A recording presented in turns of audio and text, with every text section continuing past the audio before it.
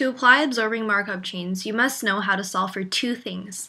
One, the fundamental matrix F, and two, the matrix FR. First, to set up for the problem, you must do several things. 1. Make sure that the matrix you have is a transition matrix. Uh, for example, it's square, each row adds up to 1.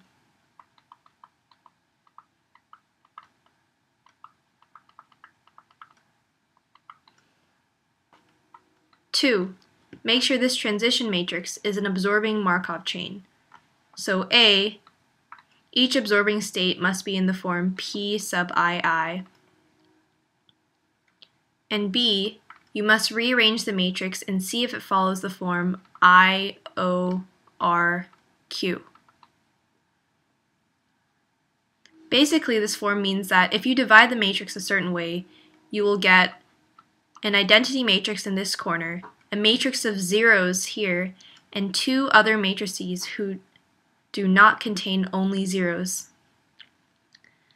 Sometimes the matrix will not be in perfect IORQ form, so you will need to rearrange it.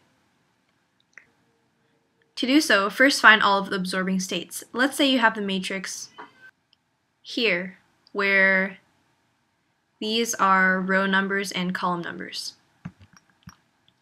Now they're absorbing states at 3, 3, and 4, 4. Once you find the absorbing states, rewrite the row and column order of the matrix with 3 and 4 first. The order of 3 and 4 does not matter. Neither does the order of the rows neither does the the the order of 3 and 4 does not matter, and neither does the order of the rest of the rows and columns. However, the rows and columns must be labeled in the exact same order, so you can't have 3, 4, 1, 2 on one side and 4, 3, 1, 2 on the other side. Now that you've rearranged the matrix, you can draw lines to separate it into IORQ form.